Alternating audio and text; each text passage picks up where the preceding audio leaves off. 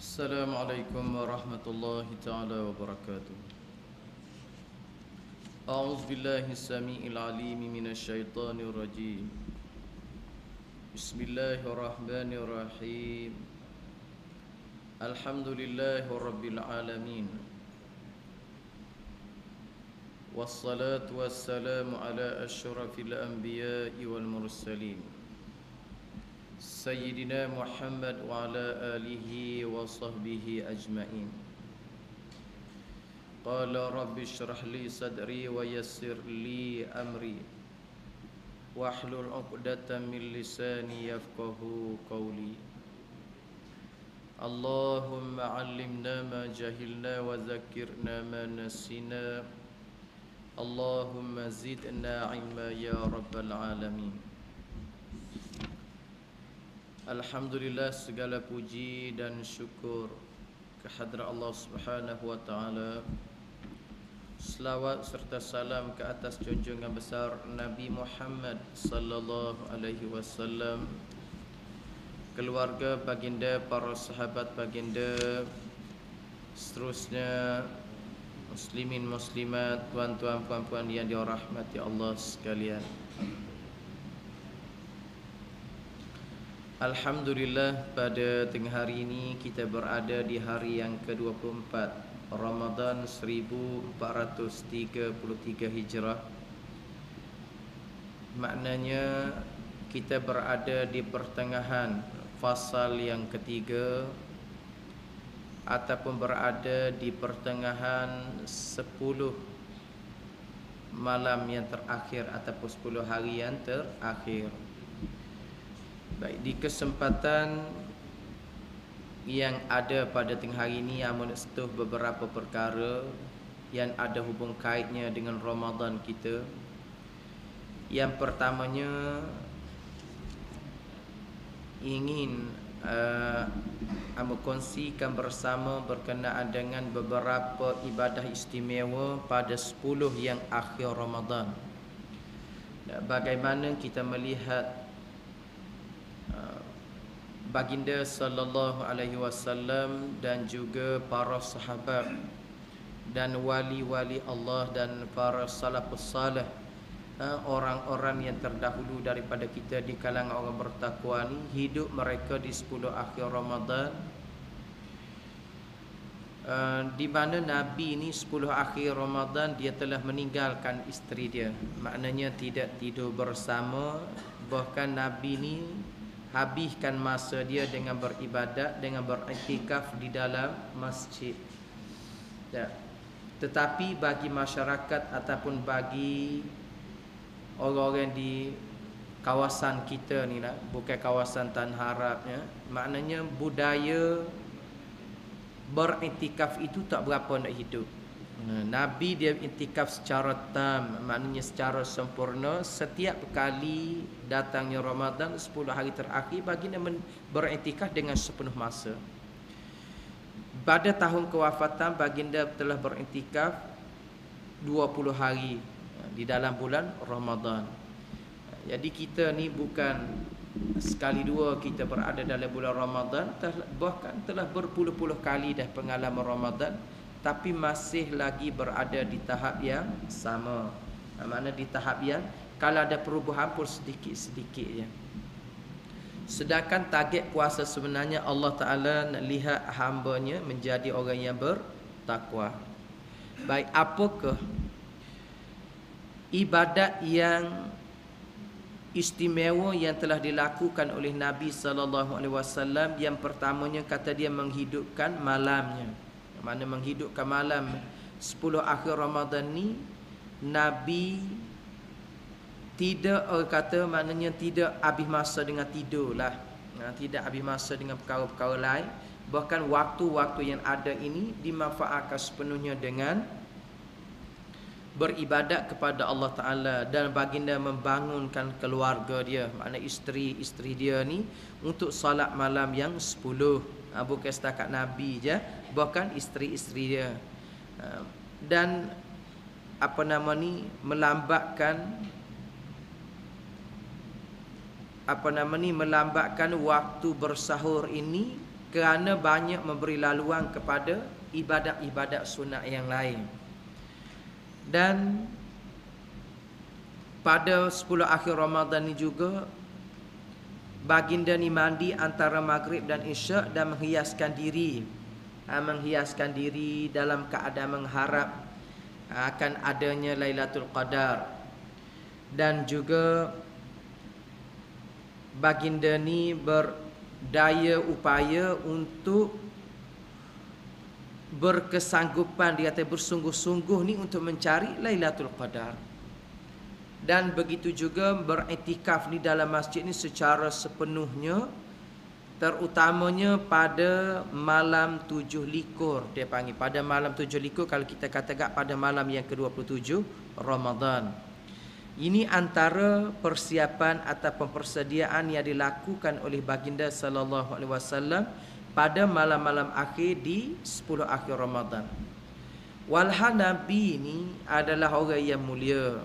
Nabi ini telah berulang kali disebut keistimewaan keagungannya dan dia ni adalah merupakan orang yang telah confirm dah syurga ha, jaminan oleh Allah Ta'ala tu orang pertama syurga paling baik segala-gala kelebihan ada pada Nabi tapi bila 10 akhir Ramadan ni Nabi bersungguh sangat bersungguh sangat baginda ni beribadat kepada Allah Ta'ala sehingga kan tak tahu nak tidur sehingga kan baginda ni maknanya tidak ada waktu untuk nak tinggalkan masjid walaupun sebentar bahkan Nabi dia intikah ke dia tak tinggal langsung masjid Waktu nak sikat rambut, nak bersih diri pun kadang-kadang Nabi Allah pala dia kot nela gitu ya. So isteri dia ni tolong sikat rambut. Eh, waktu berbuka, waktu sahur isteri atas makanan. Nabi ni duduk dalam masjid tak tinggal. Jadi kita sebenarnya ini antara amalan sunnah yang yang maknanya jarang dihidupkan amalan sunnah yang jarang oh, di kalangan masyarakat kita ni ambil berat hal-hal sedemikian. Kenapa? Kerana kita ni banyak benda-benda lain yang menyebabkan tersekat ataupun terhalangnya untuk kita nak beribadat kepada Allah. Urusan dengan anak isteri, urusan pejabat, urusan harian, urusan makan minum, urusan temu janji tu, temu janji ni banyak benda yang kita nak selesai yang menyebabkan kita boleh pergi masjid waktu-waktu yang dikatakan seperti waktu sembahyang. Ya, waktu sembahyang tarawih, waktu berbuka puasa mungkin, waktu ada qiyam mungkin, waktu ada tazkirah mungkin, waktu ada tadarus. Mana andainya segala program ini kita boleh hadirkan pada waktu-waktu yang telah disusunkan oleh pihak masjid umpamanya, maka sebanyak waktu yang kita ada ni semuanya kita ni itikaf pun alhamdulillah dah. Dan walaupun kita tidak boleh nak, ber, nak beritikaf secara sepenuhnya. Lalu nak amal nyatakan itulah amalan sunnah yang dilaksanakan oleh Nabi Nabi tak pernah meninggalkan itikaf apabila 10 akhir Ramadan itu yang pertama yang keduanya kita tengok bagaimana para sahabat Nabi yang hidup di 10 akhir Ramadan. Mereka ni hidup di 10 akhir Ramadan tuan-tuan. Maknanya cuba nak meneladani Nabi. Amun ambil seorang sahabat yang bernama Qatadah radhiyallahu anhu. Ah, Qatadah ni bila masuk saja bulan Ramadan dia telah mula melipatkan amal ibadat dia menggandakan ibadat dia. Terutamanya dari segi bacaan al-Quran. Dia baca Quran Qatadah ni tiga malam sekali dia khatam. Tak tiga malam sekali khatam. Artinya nak khatam tiga malam sekali ni bukan sedikit dia baca 10 juzuk semalam eh. Tak malam kedua 20, malam ketiga 30. Maknanya tiga malam sekali dia khatam. Gak 10 juzuk semalam man. Kalau aku duduk kalau orang sepuluh kita curah situ. Tak dengar tak berapa mahirnya, dengar tidak berapa kita ni maknanya boleh baca lancar dan sebagainya Quran. Tapi nak ayatnya itu kata dah. Tapi bila masuk 10 akhir Ramadan, dia telah khatam Al-Quran sekali eh, semalam sekali. Maknanya 10 kali telah khatam situ dah 10 malam. Inilah hidupnya yang nak digambarkan kepada kita bagaimana sahabat-sahabat Nabi ni bertungkus lumus beribadat kepada Allah Taala. Yang tak kenal lelah, tak kenal mengatuk, tak kenal tak cekak, tak kenal reti, penat lelah tak ada. Syadda radhiyallahu anhu salah seorang sahabat Nabi juga. Dia buat ibadat malam ni bila penat kata dia. Bila berasa tak cekak, bila berasa tak berapa nak larat, cuba nak mengat, cuba nak nak rebahkan diri, cuba nak tidur. Tapi kata dia bila aku mengiring kok kanan, kok kiri, tak jenera. Siapa curah pagi esok tu dia mengaku, dia mengadu kepada Allah, Ya Allah, Ya Tuhanku. Kerana terlalu takut kepada neraka jahanammu lah yang menyebabkan aku ni tak lena nak tidur waktu malam. Ya, siapa ke perekat demon ni tak jenera tidur waktu malam kerana takut kepada Allah Subhanahu Wa Taala. Kita tak ada belaka ni benda-benda ni ni tak mari pada kita dia tak terasa kepada kita. Sebab tu kita bila masuk pasal yang ketiga Ramadan ni berasa layu dah. Nak berasa tak berapa nak larat, berasa tak berapa nak cekak dah. Sahur pun tak lalu banyak dah makannya. Dak masjid pun berasa tak cekak dah nak semaya. Hok lama-lama nak semaya hok panjang-panjang. Kita hitam masjid hok rekah-rekah jalan. Dak sebab bila semakin Ramadan ini nak berlalu semakin itu yang kita rasa. Inilah kelemahan kita. Dan inilah maknanya ketanusan yang ada pada kita sebab bekalan kita tak banyak. Demon ni ni dia boleh tahan siapa kau tiap-tiap malam boleh khatam Quran. Sayyidina Osman boleh baca Quran sampai 30 juzuk dengan satu salam. Sayyidina Umar boleh semaya siapa kau kata bas subuh nah baru buat ismai sunat sebab bekalan dia bekalan dia banyak. Sebelum daripada Ramadan ni demon ni kaki masjid dah. Sebelum pada Ramadan ni demon ni jenis orang baca Quran dah. Sebelum pada Ramadan demon ni ahli qiyam dah.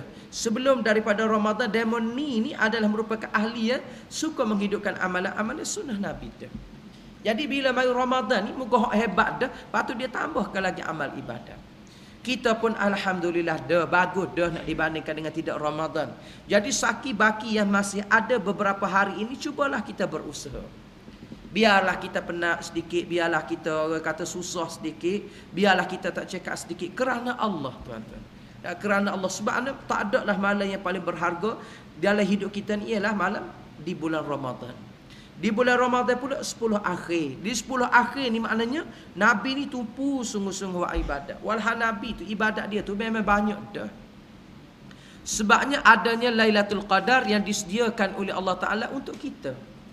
Allah Ta'ala tidak sedia untuk orang lain Sehingga ke umat-umat lain kecemburu Nak hidup menjadi umat kepada Nabi Muhammad Bila mereka dapat tahu Dapat berita bahawasanya keistimewaan umat Nabi Muhammad Antaranya ada Lailatul Qadar Lailatul Qadar ni semalam mewah kerja Semalam mewah ibadat ni Saat lebih daripada seribu bulan Siapa tak sih tapi duduk pada kita sebab biasa ya. Mari Lailatul Qadar. Kau sepuluh kali, sepuluh kali Lailatul Qadar pun. Tak ada berubah apa pun. Tak ada berasa makna melipatkan ganda tu tak ada. Inilah suatu kerugian yang ada pada kita yang sering manusia ni lupa. Tapi tawaran Ramadan ni dia bagi serupa je. Tawaran Ramadan ni maknanya Allah Ta'ala wayak siapa dia buat ibadat pada malam tu lebih baik pada seribu bulan. Allah Ta'ala buka kepada semua orang. Kepada hamba-hamba dia. Yang beriman, ia bersungguh-sungguh nak pada benar. Tapi bila di kalangan hamba dia ni buat tak cara, buat tak berapa nak barang ni, tak ada apa juga. Berlalunya Nabi kata tak adalah antara orang yang paling rugi apabila datangnya Ramadan sehingga berlalunya Ramadan antaranya dia tidak diampun dosa oleh Allah. Ni kerugian yang paling besar. Antaranya dia tidak mendapat malam Lailatul Qadar. Ini kerugian yang besar. Jadi sahabat atas dasar ni lah bersungguh-sungguh sehingga kan istighfar mereka berdoa mereka wirid zikir munajat mereka ni maknanya sungguh-sungguh nak katakan jumlah tu tak tahu banyak-banyak mana mereka ni maknanya beribadat kepada Allah Subhanahu Wa Taala. Nak dapat bagian ni lah tuan-tuan. Inilah kehebatan orang-orang yang sebelum daripada kita. Jadi kita yang sering kali kita memberi alasan pernah alasan mengantuk alasan, alasan tak cekap ni. Siapa bila kita nak bagi alasan ni? Kalau kita tidak sendiri mana berusaha untuk membangunkan diri kita tak ada orang lain mampu. Jadi rebutlah peluang ini. Uh, pada hambanya rasanya Lailatul Qadar belum lagi. Uh, belum lagi, lepas lagi rasanya. Malam ni 25 27 29 tiga malam lagi malam yang ganjil.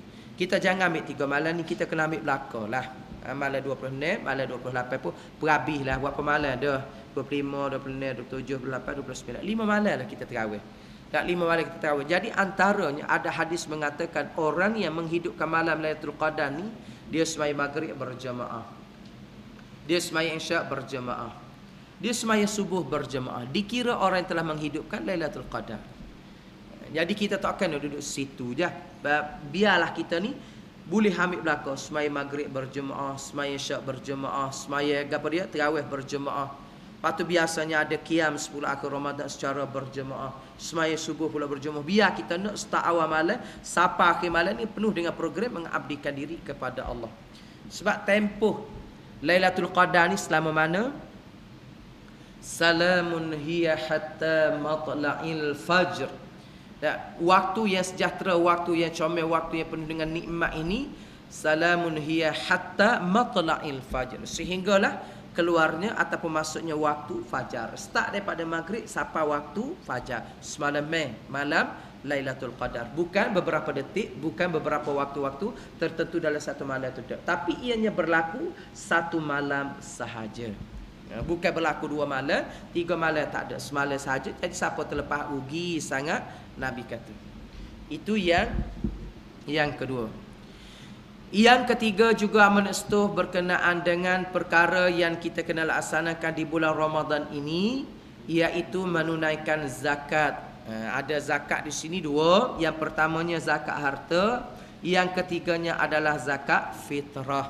Eh, zakat fitrah sebagaimana kita maklum satu kepala RM7 sama dengan tahun lepas. Ini wajib ya. Semua orang yang ada tahu rumah kita, anak kita, umur setahun, umur tiga bulan pun wajib kena bayar zakat. Dengan kadar yang sama tujuh ringgit. Zakat ni ni adalah merupakan zakat nak menyucikan kita setelah kita berpuasa. Nescaya amalan puasa seseorang, seseorang itu tidak diangkat bergantung antara langit dan bumi sebelum dia menunaikan zakat fitrah. Ya, tujuh riyal. Kita ada tiga orang, dua puluh satu riyal.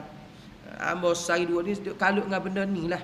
Nah, mari nak tujuh orang, hak ni sembilan orang. Setakat ni paling ramai mari-mari sembilan belah orang. Berkali dia gabung lah agama ni. Nak sembilan belah orang kali dengan tujuh ria tu beratus kalah lah. Jadi kita kira lah benda ni bila kita boleh keluar zakat fitrah. Waktu boleh kita keluar zakat fitrah apabila masuknya bulan Ramadan. Sehinggalah sebelum menunaikan salat hari raya Aidilfitri. Tu tempoh yang harus yang yajuz tempoh yang dibolehkan kita mengeluarkan zakat fitrah.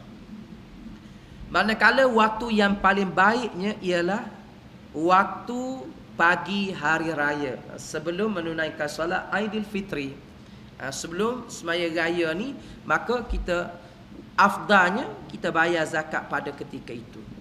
Jadi kalau kita nak bayar tikar tu belakang lah masa tak ada. Nah, nak semaya raya pukul 9 paling-paling lewat apa. Ya, biasanya pukul 8.30 tapi kata pukul 9. Bah pukul 7 kau duk beratur nak mai bayar zakat terus nak ambil waktu afdal. Ha, maka buatlah ya kita kira sesuai pada kita nah. Ya sesuai ya kita kira menasabah lah. Dan bayar ni kalau kita nak bayar kepada bertauliah agak yang hak dapat rasmi itu satu. Yang kedua kalau kita nak bagi kepada fakir miskin biar kita bagi sendiri sebab dia ada niat dia dan biar kita maknanya yakin kita wik dia ni mana orang ni memang layak lah. Ha, orang yang layak orang yang boleh terima dan uh, carilah hak warak-warak hak juru-juru hak suka pergi masjid dan uh, cari yang makcik-makcik tua-tua hak, hak miskin siapa sajalah mana kita bagi ke dia dalam keadaan semoga mereka ni bergembira. Antara hikmah ada zakat fitrah ini ialah untuk mengembirakan hati orang-orang miskin. Biarlah walaupun sekadar tujuh riyal. Nak bagi lebih lagi tu pun selekai lah. Tak ada masalah. Hak tu sedekah. Hak ni hak wajibnya tujuh riyal. Dan zakat fitrah ini juga adalah merupakan zakat yang hanya ada pada bulan Ramadan sahaja. Bila selesainya semaya hari raya bila kita keluar zakat pada ketika tu dia tidak panggil zakat dah sedekah biasa. Ha, sedekah biasa. Tapi wajib kena keluar juga. Jadi amo nak ingatlah kan sebab benda ni ke kita alami. Setiap tahun ada semua lepas maya raya pergi jumpa. Tak email amo nak bayar zakat bapanya sudah dah kita maya raya. Muka amo tak ada ni kata. Sedangkan masa tu sebulan tak ada. So apa ni? Yang kedua Mari-mari tu raya. Amo bayar zakat tak dia mau dalam tabung masjid. Tabung masjid ni dia ada kerja terima ke tidak? Tak ada. maka tidak boleh. Jadi benda-benda gini walau bagaimana walaupun lepas semaya dia kena dia kena keluar juga tapi sekadar jadi sedekah biasa. Tetapi apabila terbenamnya matahari baru dia nak keluar zakat pada hari raya tu hukumnya adalah ha, haram berdosa dah. Sudah tidak di, diterima oleh Allah Taala lagi. Maknanya dia tu keluar keluar sepatut dosa pula waktu tu. Maka kita kena jagalah haba Beringatlah benda-benda gini. Kenapa kadang-kadang terlepas pandang Kadang-kadang. Walaupun kes-kes terpencil ini berlaku Dan zakat ini adalah merupakan Satu-satunya ibadat Yang dirangkaikan oleh Allah Ta'ala dengan sembahyang. Dalam Al-Quran disebut tak kurang daripada 27 kali. Ya, tak kurang daripada 27 kali. Wa aqimus salah wa atuz zakah. Dan diri kalah salat dan tunai kalah zakat. Nana ibadat sembahyang ni ibadat melibatkan anggota badan. Ya. Perbuatan yang wajib seseorang itu semaya lima kali sehari sepanjang hidup. Selagi tak mati, selagi kita ni waras, selagi kita ni ada akal, selagi itulah kita ni kena semaya. Sakit kau sibuk kau apa, itu tak ada alasan. Jadi itu ibadat ibu segala-galanya iaitu semaya. Maka dengan ibadat ibu semaya ni lah, eh, ibu segala ibadat di semaya ni lah Allah Ta'ala gandingkan satu ibadat yang diberi nama zakat. Kerana apa? Kerana zakat ni melibatkan harta benda. Amalan yang melibatkan harta benda biasanya bila sebut harta semua orang sayang. Semua orang berkandak, semua orang kasih, semua orang ni. Maknanya Allah Ta'ala nak tengok sejauh mana kesayang kamu kepada harta benda. Bila siapa tempoh, bila siapa waktu kena keluar zakat dengan tempoh, dengan kodar-kodar tertentu. Tahun ni zakat harta iaitu zakat yang keduanya selain pada zakat fitrah zakat harta ni adalah kadar dia 13,900 riyal. 13,900 riyal bila kita simpan katakanlah start Ramadan tahun lepas sampai Ramadan tahun ni cukup setahun. 13,900 ni maknanya kita tak usik tak guna lah. Ha, duit ni maknanya orang panggil lebih dah kita ni. Lebih daripada keperluan. Maka di sini dia ada zakat yang wajib kita keluarkan 2.5% daripada harta kita daripada duit kita kita simpan sebanyak 13900 tadi maka dengan hak mudah kira gak 1000 kita cabut 25 riyal apa 13000 kiralah berapa berapa kalau 13000 kalau 30000 Seratus ribu, juta, berapa bilion kat orang lain ni tak main sikit-sikit. Dan sikit-sikit juta, sikit-sikit bilion. Kalau zaman kecil hari ini, kecil mana banyak. Tentunya zakat itu adalah banyak. Maka semua yang dikirakan 2.5% itu bukan hak dia. Hak siapa? Hak innama sadaqatu lil fuqara'i wal masakin wal amilina 'alaiha wal mu'allafati qulubihim. Siapa habis hak lapai golongan yang disebut oleh Allah Taala hak demon ni. Maka zakat ini digandingkan ayat ini digandingkan oleh Allah Taala dengan ayat sebaya sebanyak 27 kali di dalam Al-Quran. Ha, maka kita kena berhatilah kita tengok sejauh mana harta benda kita ada rezeki yang Allah Taala telah limpahkan kepada kita. Apakah yang perlu kita tunaikan? Maka kita laksanakan dengan penuh imanan dengan penuh keimanan dengan penuh keredaan sikit ni mungkin berasa tak sayang 100 200 tapi kalau dah sejuta zakat tu berapa Ha, maka tubiklah 30 ribu, 30 ribu umpamanya. Maka sini dia akan main rasa sayang. Ha, bila sayang ni lah. Maka bila iman tu tak ada, nescaya orang tu tak akan keluarkan zakat. Ha, maknanya biasanya di bulan Ramadan ni ramalah di kalangan kita ni mengeluarkan zakat harta dan juga zakat fitrah. Ha, baik, satu tadi golongan yang berkenaan zakat fitrah tadi. Orang yang boleh terima apa ni orang yang wajib kena keluar zakat fitrah ni Orang yang dah hidup dengan dua waktu dipanggil. Bulan Ramadan pun dia ada, bulan Syawal pun dia ada. Mari ada lagi seorang nak bayar terus ngambuk. Dia kata anak ambo ni tujuh orang. Siapa ngambuk dengan orang rumah ambo sembilan. Maka pertengahan puasa baru ni kata anak ambo ni meninggal seorang. Ada mati seorang. Tinggallah anak ambo ni ni orang. Maka berapakah berapakah zakat yang saya kena bayar zakat fitrah? Ha, kata kena bayar hak ada lah. Hak meninggal tu tak kena bayar dah. Sebab dia sebab apa? Sebab dia meninggal di bulan Ramadan. Dia tak ada dengan dia tak ada dengan kau, dia tak ada dengan Syawal. Tapi kalau dia meninggal malam raya, ha, malam Syawal tu dia kena bayar zakat. Ha, nah, kalau dia mati malam raya umpamanya. Sebab apa? Sebab dia dengan Ramadan, dia dia dan dia juga dia dengan Syawal. Begitu juga orang bersalin, orang beranak. Dia bersalin bila? Kalau dia bersalin malam raya, tak ada zakat lah bagi anak yang baru lahir. Sebab dia hanya ada pada malam syawal saja. Tapi kalau dia lahir petang waktu pak, Kan kita waktu pak hari ni, hari ni dia lahir umpamanya. Maka dia kena bayar zakat. Walaupun anak ni baru tak sampai sehari umur. Kenapa? Kerana dia dah dengan Ramadan, dia dia, dia juga dengan Syawal. Begitulah mana kita boleh tengok mana golongan yang wajib yang bayar zakat ni orang yang hidup dengan Ramadan dan juga dengan Syawal. Ha, tu tak amba uh, takut terlupa nak bagi tahu tu. Itu dah berkenaan dengan zakat secara ringkas-ringkasnya. Kemudian uh, kepada siapa kita nak keluarkan zakat ini maknanya pihak yang mengurus zakat secara rasmi di negeri kita ni adalah Majlis Agama Islam dan ada istiadat Melayu Kelantan ataupun uh, kita boleh bagi kepada fakir miskin yang kita sendiri nak turun bagi hak ni bagi uh, kita sendiri nak pergi bagi ni hak ni adalah lah, terbaik sekalinya kita pergi bagi sendiri turun pergi kapung-kapung cari rumah miskin cari hak comel hak, hak semaya bet tinggal bagilah Baru kita akan serah jeliru aku boleh bantu orang. Dan kita boleh tengok lagu ni gaya hidup dia. Jauh nak dibanding kita. Ni dok kita duduk senang sama.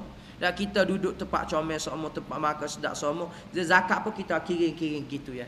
Tapi penghayatan sebenar kita berkaitan dengan menurut lagu ni, kita tak rasa.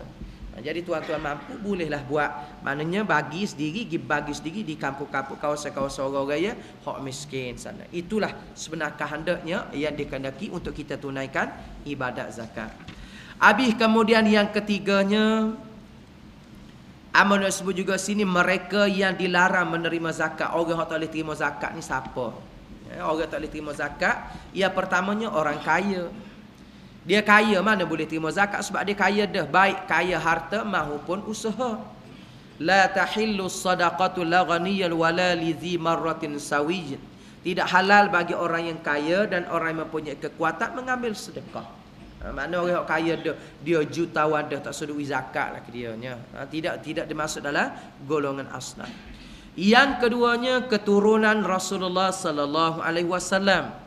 Ha, keturunan Nabi, keturunan Rasulullah tak boleh terima zakat. Sebab tu Nabi kan satu ketika bila orang jatah wa tamat sebagai zakat untuk Rasulullah agihkan kepada golongan-golongan yang layak terima, tiba-tiba cucu dia, ha, cucu dia ha, Hasan ke Husain tak ingat, budak dia tahu gapo orang ambil makan. Lalu Nabi korek, buah kan keturunan Rasulullah ni tidak boleh menerima zakat. Siapa setara tu jaga kalau kita mendapat kau budak pas putih utama pelik apa itu kita tapi nabi jaga. Yang ketiganya ialah hamba sebab ia menjadi tanggungan tuannya. Hamba juga tak boleh nak terima zakat sebab apa? Sebab dia ni hamba. Hamba ni dia tak boleh milik gos kara tuan-tuan. Eh, hamba ni dia tidak seperti tarah orang biasa tapi zaman kita hari ni tak ada dah hambanya zaman kita ini tak ada dah hamba hak ada dua motor gaji tu lain ya. Hak ni hamba ni memang segala-galanya adalah milik tuan dia. Yang keempatnya orang-orang yang ditanggung nafkahnya oleh orang yang berzakat. Ya, maknanya nafkah dia ni maknanya ditanggung oleh orang yang keluar zakat. Hak ni timbul persoalan. Boleh kada mak kita ni miskin, anak ni jutawan, anak nak bagi zakat pada mak dan ayah.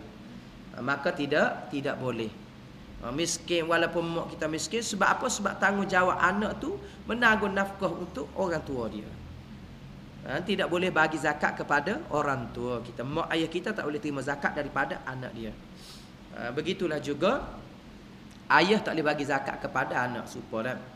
Yang kelimanya orang kafir yang bukan mualaf seperti disebutkan dalam sabda Rasulullah sallallahu alaihi wasallam ketika baginda mengutusnya ke Yaman Baginda bersabda qail uh, qail muhum anna Allah aftarada alaihim sadaqata fi amwalihim tu'khadhu min aghniyaihim wa turaddu ila fuqaraihim.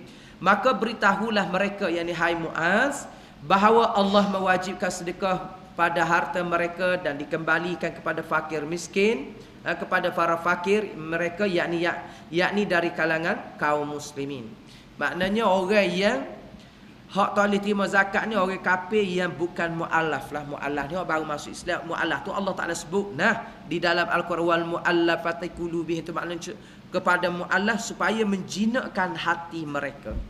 Tapi golongan hak nombor satu sekali Allah Taala sebut innamas sadaqatu lil fuqara. Orang hak mula-mula kali kita nak bagi zakat ni adalah kepada orang fakir. Fakir sini dia banyak huraian tuan-tuan. Kalau baca kitab Syiarus Saliki huraian fakir ni yang pertamanya cari fakir yang saleh. Yang menyembunyikan kefakirannya. Yang tak pernah meminta dengan sesiapa pun. Dan dia ni sentiasa beriman dan bertakwa kepada Allah Ta'ala. Pendapatan dia memang tak ada apalah untuk nak sehari-hari ni memang tak ada. Oh, hak ni, hak aula, hak ni, hak nombor satu kali. Gak nak cari mana zaman kita hari ni payah lah. Banyak kau pergi ke pejabat-pejabat pergi ke rumah-rumah tu gak. Kok ni ni kadang-kadang hak kaya ni. Dia ada 4 5 orang pergi minta zakat, minta zakat. Dia kalau hak miskin sungguh dia tak pergi tuan-tuan. Ha, dia jaga muruah dia, dia jaga maknanya punya kedudukan dia. Biarlah miskin kau gapo kalau nak pergi minta rumah daripada rumah rumah ni dak lala lah. Tapi hak dia gigi ni kadang-kadang dia ada persatuan dia dah. Cek lah dulu tengok dah mana kita kena sabah bantu. Kalau berasa tak menasabah bagi kau orang lebih berhaknya. Ha, itulah maknanya golongan yang dilarang menerima zakat. Nah, itulah mereka yang tidak nak banyak sebab raya ini banyak. Dan yang terakhir sekalinya amun sebut berkenaan dengan Aidilfitri. Sebab kita ni lepas daripada ni kita akan raya. Dan apakah dia sebenarnya Aidilfitri ni? Hari raya ataupun Aidilfitri ni adalah merupakan hari raya berbuka puasa dipanggil. Nama fit, fitrah, nama fitri ini adalah maknanya fitrah ni kita kembali kepada asal. Mana kembali kepada asal ni kembali kepada maknanya waktu sehari sebelum ni kita boleh makan, maka bila datangnya Aidilfitri maka kita boleh makan waktu sehari. Itu satu. Dan fitrah yang sebenarnya ialah kembali kepada kesucian semula jadi. Bagaimana kita hari itu mula-mula lahir ke alam dunia ni dalam keadaan suci, dalam keadaan bersih. Maka setelah kita hidup berpuluh tahun banyak dosa kita buat, maka kita ni kotor. Maka kita nak kembali kepada Allah Ta'ala juga dalam keadaan fitrah.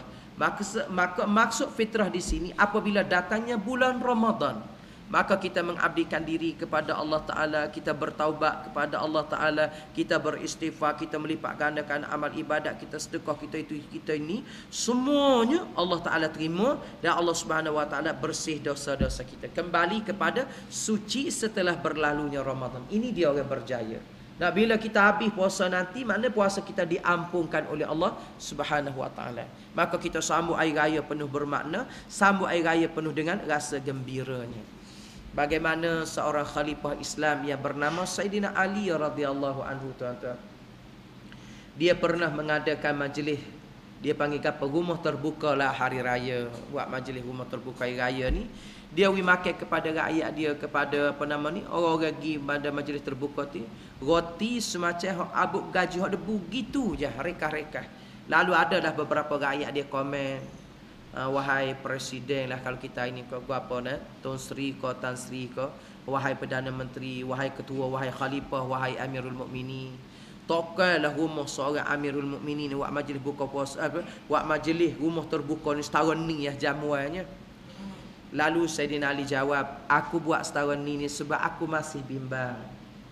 Aku masih bimbang adakah puasa aku ni puasa diterima ataupun tidak oleh Allah taala yang menyebabkan aku rasa tidaklah terlalu seronok sangat nak bergembira siapa pada peringkat nak lebih-lebih sangat. Sebab aku tak tahu aku ragu ada keibadat aku di selama ni dalam bulan Ramadan Allah Taala terima atau tidak. Maka pada dah kalau aku buat koda-koda gini pun. Ha, tengok orang yang duduk di tahap di tahap peringkat bimbangnya takut puasa dia itu tidak diterima oleh Allah Taala. Maka sambut raya pun tidaklah nak gembira sangat kita ni kat sambut raya bila istihar malam ni. Istihar esok raya tegak sukanya Allah Ta'ala lah yang maha mengetahui. Memang kita diminta supaya bergembira. Sebab hari raya ni adalah hari kita berseronok hari raya ni hari kita bergembira hari raya ni adalah hari kita bermaaf-maafan. Hari raya ni adalah merupakan yaumul aidil faiz hari yang mencapai kemenangan kemenangan kita boleh menundukkan hawa nafsu.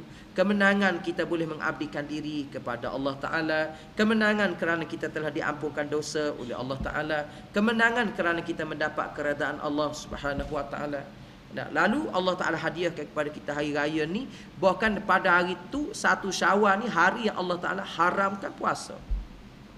Puasa juga pada hari itu haram. Puasa juga pada hari itu tak dapat pahala pun Hari mana? Hari satu syawal. Hari yang kedua tu bolehlah nak puasa. Jadi nak royak ni tak ada dalam Islam ni puasa strict sampai 30 Ramadan sambung dengan satu Syawal tak. Sebab hari ni hari Allah Taala jamu, hari Allah Taala ni nak tengok hamba-hamba dia bergembira, hari Allah Taala maknanya maafkan kepada hamba-hamba dia. Maka sebab tu pada hari raya ni adalah merupakan hari kita bermaaf apa antara satu sama lain. Yang yang pertama cara kita nak sambut raya ni sama ada Aidilfitri ataupun Aidil Adha perkara yang kita wajar kita buatlah. Ha, iaitu pertamanya kita memakai pakaian yang terbaik pada hari itu. Ha, hak comel sekali bagi kita hak baru sekali bagi kita adalah hukumnya sunat tuan-tuan. Biarlah tak mahal apa tak apa tapi bila pentingnya baru terutamanya anak-anak kita lah anak-anak kita ni kan tak boleh beli baju raya puasa tak sedar ibu bapaknya. Dan mak-mak kadang-kadang tak puasa lagi siap ada nah ha, tapi biarlah. Walau bagaimanapun sambut hari raya ni sunat dengan memakai baju baru. Yang kedua sunat juga kita ni berwangi-wangian. Nak raya ni kan maknanya biar kita pakai minyak atas hok gogo mahal lah sikit hok bau-bau sedap Hak mana kalau selisih dengan orang-orang kata sedapnya air bau dia. Ha, mana boleh hak lagu tu pun tak apa dah. Nah, jangan pakai air bau tu hak bau hapok kau pakai kau pusut baik tak. So, jadi sunat berwangi wangian. Dan sunat pakai wangi-wangian baju-baju comel ni bila terutamanya waktu kita nak ke masjid. Ha, waktu kita nak pergi semaya, semaya raya, maka kita pakai comel dan semua orang pada ketika tu sunat pakai baju baru tu satu hadah pakai apa ni wangi-wangi satu hadah lepas tu sunat kita dah lagi kada ke masjid kan mengumandangkan takbir.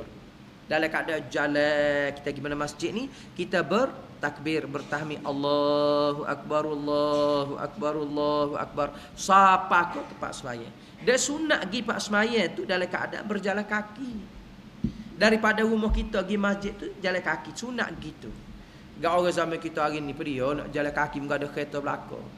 Ya, tapi sunatnya itu sebab apa sunat? Sebab nak menzahirkan kepada dunia kepada masyarakat inilah hari raya. Nah, setiap orang ni keluar pada rumah dalam keadaan suka, dalam keadaan gembira. Bahkan Nabi kata nak pergi tuju tempat semaya, pergi belakang lah. Pada hari raya ni, kena pergi belakang.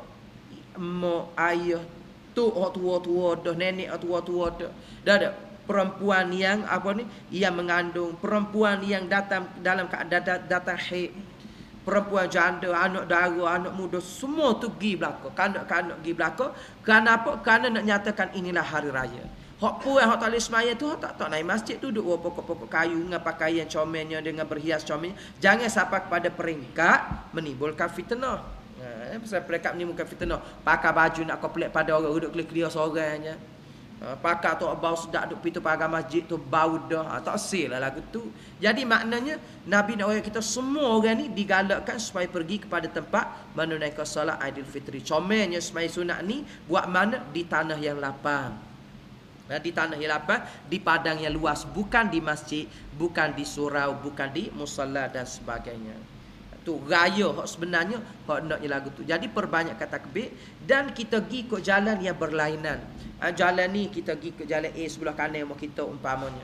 Lepas tu kita balik ke jalan lain pula. Itu sunat. Barang-barang ni sunat barang-barang ni Allah Taala kata bila kamu buat dapat pahala. Dahlah kita rasa seronok. Dan sunat berziarah menziarahi antara satu sama lain. Kita pergi belakang sebelum ni kita tak ada nak pergi hari raya ni hari kita ziarah Biarlah rumah Halik jatuh tu duk masa berapa bulan apa tahun dengan kita. Tahun ni kita pergi rumah dia. Dia tak si tegur juga biar kita dapat pahala. Dia dia tak dapat pahala. Dosa kita Allah Taala ampun. Hak dia, hak dia Allah Taala tak ampun. Mana kok mana-mananya rugi tu tak ada. Tak biarlah demo tak si masa, demo tak si manis, demo tak si tegur pun. Hari ni adalah hari raya, kawan nak tegur demo. Ini satu benda yang kita kena buat. Bolah. Dia main hak luka lama, hak kata-kata lama, hak baloh jam-jam begitu. Dia bawa pergi siapa pagi gaya pun. Mana duduk, apa ni, duduk masa muka juga. Itu bukan hari raya sebenarnya. Maka kita kena, kita kena jaga. Dan waktu takbir hari raya puasa ni adalah sebentar. Dia panggil takbir mursal. Uh, takbir, takbir mursal. Iaitu waktu tempoh takbirnya start daripada... Uh, malam raya, malam satu syawal. Bila terbenam matahari, katakanlah hari ni hari waktu pak. Hari ni hari waktu pak hari yang ke-29 Ramadan umpamanya. Malam kat hari lepas ngorek orang istihad. Istihad raya esok. Start daripada tu kita boleh takbir. Siapa curuh pagi esok, siapa semaya subuh, siapa siapa siapa semaya sunat raya. Bila lepas pada semaya sunat raya, habislah takbir. Tu dia panggil takbir hari raya Aidilfitri takbir mursal. Tu ya tempoh waktu takbir dia. Adapun hari raya Aidil Adha, tempoh takbir raya dia panjang. Setengah ulama mengatakan waktu gelincirnya matahari sembilan apa ni sembilan Zulhijjah waktu wukuf di Arafah. Situ tu boleh takbir dah. Lepas zuhur pada hari sembilan Zulhijjah. Start daripada tu sampai kepada hari terakhir ia hari tasyrik iaitu uh, hari tasyrik 13 Zulhijjah. Sebelah, dua belah, tiga belah Zulhijjah sampai asar. Lepas pada mayasa ataupun lepas pada uh, sehinggalah terbenamnya matahari pada 13 Zulhijjah, maka berakhirlah uh, takbir hari raya Aidil Adha. Maknanya tempoh dia 9, 10, 11, 12, 13, 5 hari tuan-tuan. Bila kita boleh takbir setiap waktu semaya, apa-apa jua semaya lepas pada semaya, sunat bertakbir. Tu tempoh dah sebab tu dia raya haji lebih besar pada raya puasa. Kita ni besar raya puasa pada raya haji muka kita puasa sebulan tidak sungguh pada kita.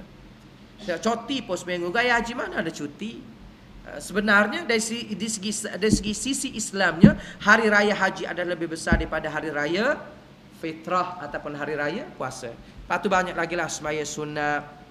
Lepas tu bermaaf-maafan dengan ibu bapa, suami dan isteri, anak-anak. Ini penting sebenarnya. Inilah kita kadang-kadang kita ambil mudah sebenarnya ini adalah merupakan hari yang penuh bermakna kita rayalah sama-sama kita sebab ramai di kalangan masyarakat kita ni kadang-kadang tak cara mana benda-benda gini. Nak nak lagi zaman-zaman kita hari ni.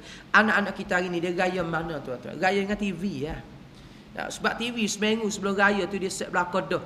Hak gaya pertamanya, gaya kedua, tiga. Siara tu penuh belakang dah.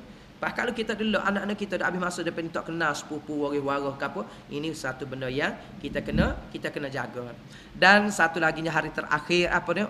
Waktu pagi raya kita mula-mula sekali nak start makan ni ke, mulakan makan dengan buah tamar atau buah kurma. Mulakan makan pagi raya tu dengan buah kurma, bukan dengan kek, bukan dengan sate, bukan mula lain dak. Ha, makan dulu sunat makan dulu sebelum pergi semaya raya. Ni Nabi buat dan Nabi makan buah tamar. Lain dengan raya haji, raya haji ni sunat kita pergi semaya raya dulu, makan tu makan kurban.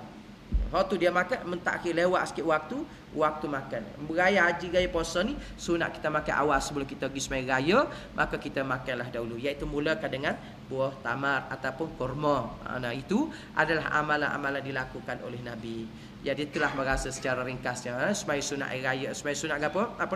Mandi sunat pada pagi raya tu kita jangan tinggal. Mandi-mandi juga, tapi bila mandi sunat mandi hari raya puasa tu kita dapat pahala dah situ. Nah, banyak perkara benda-benda walaupun sunat berlaku bahkan semaya raya pun dikatakan sunat. Maka bila kita buat berlaku ni ini adalah merupakan pahala nak kata sebanyak mana.